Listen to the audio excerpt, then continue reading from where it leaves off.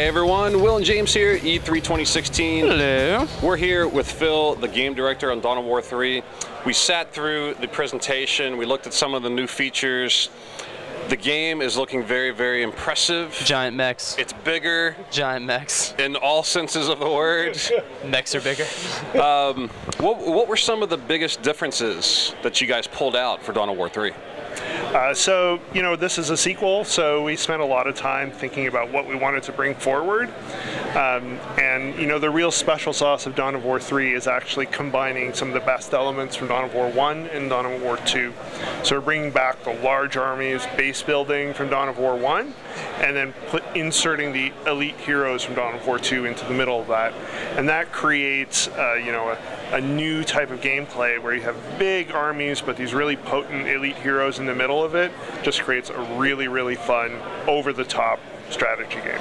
Definitely saw that. Um, I, and, and the addition of, was it uh, Lady Solaria?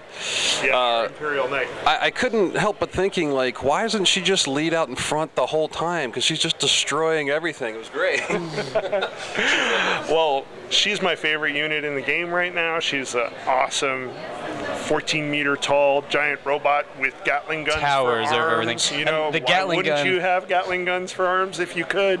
Um, but she does have, you know, there's counter gameplay there. Um, she has balancing things.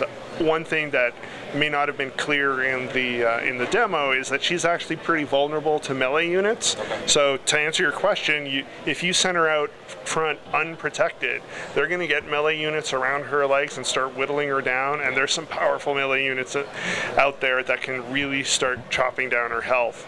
Uh, so she's best deployed with some support with some melee units to tie up the enemy and hold her a little back since she has long range firepower. I mean, it's a strategy game after all, so it would be, wouldn't be, you know. Yeah, exactly. There are no I win buttons, so it's just no fun in a strategy game. But- and and some of the smaller things that I really liked was just, um, I mean, seeing like the scale of all the different parts of your army you can put together and then sending them in like you just have the troops and then it slowly gets bigger and bigger until you have Lady Solaria bringing up mean it was just like oh this is cool man You're just watching them go I was like oh this is a lot of fun yeah, James Um, I saw that there was like a lot of strategic positioning going on. You had like leap moves and everything, uh, positions that you're fighting for. Is there going to be a multiplayer element to the game at all? Absolutely. You know, multiplayer is a critical part of Relic's heritage, of Dawn of War's heritage. We're not at a point where we're ready to release a lot of details, uh, but you definitely are going to be able to play with and against your friends in multiplayer from day one. It, it seems like it's gonna be a lot of fun to have those checks and balances. You know, oh, Lady Solaria just came out. I've got a melee unit for you. Yeah, absolutely. I mean, we've tried to build in really interesting gameplay and counterplay into all the elements. I mean, you saw in the demo this giant space laser, the orbital bombardment. That's the ultimate ability.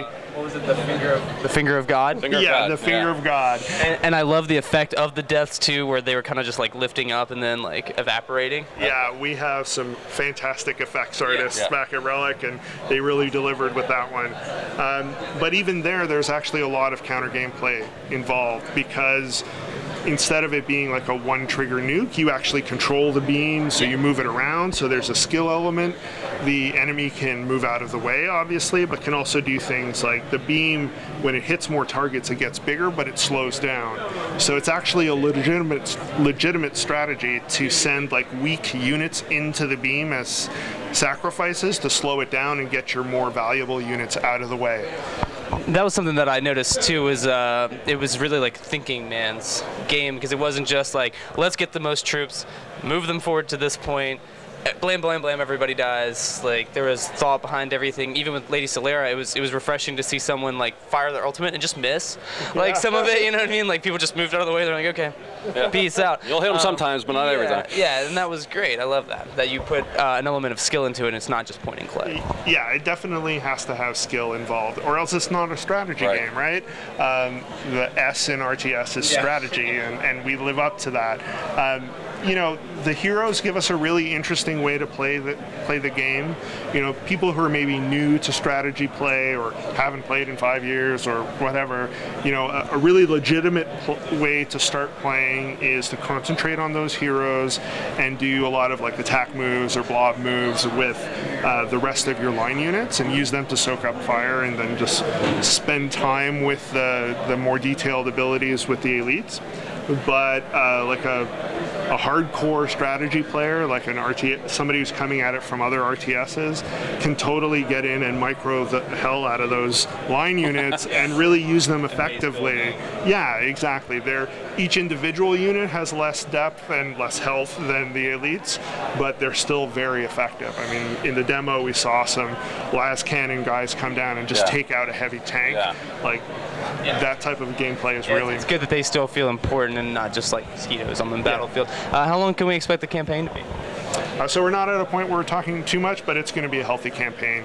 It's actually going to take you through all three of the factions. I was gonna say I was pretty sure you guys would do multiple faction play, which leads to a lot more hours. Yeah. Well, and also I mentioned there was difference. Like there's faction differences, right? Uh, you know that once you pick one and who you pick changes how things unfold, right? Yeah, absolutely, absolutely. Uh, so you're picking three elite heroes before every match, um, and they play a large role in what your playstyle is going to be. So Lady Solaria, the Imperial Knight, she's fantastic. She's huge, powerful, but she also costs a lot to deploy. So in a multiplayer game, or even in most campaign games, it's going to be 10 or 15 minutes before Yeah. you can get her out. So you're going to be really vulnerable in that opening period.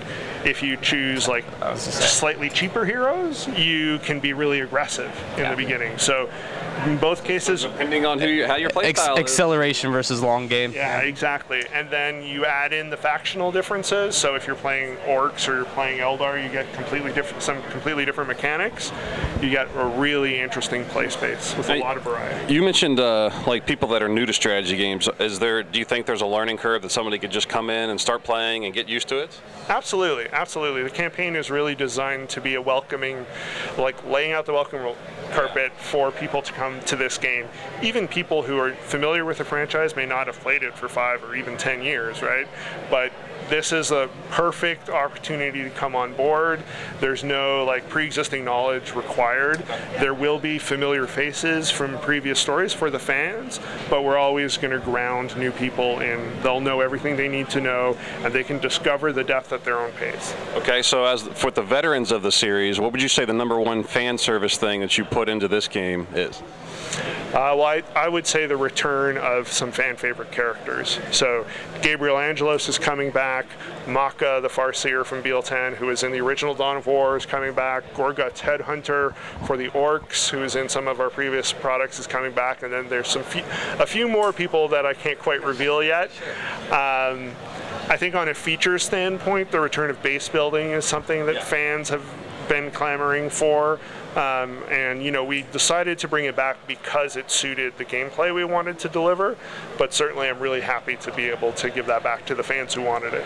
With the base building and the elite heroes, now you really have the best of both worlds. So That's that's the plan. yeah.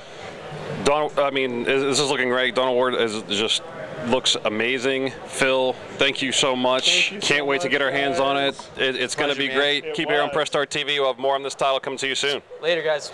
See you later.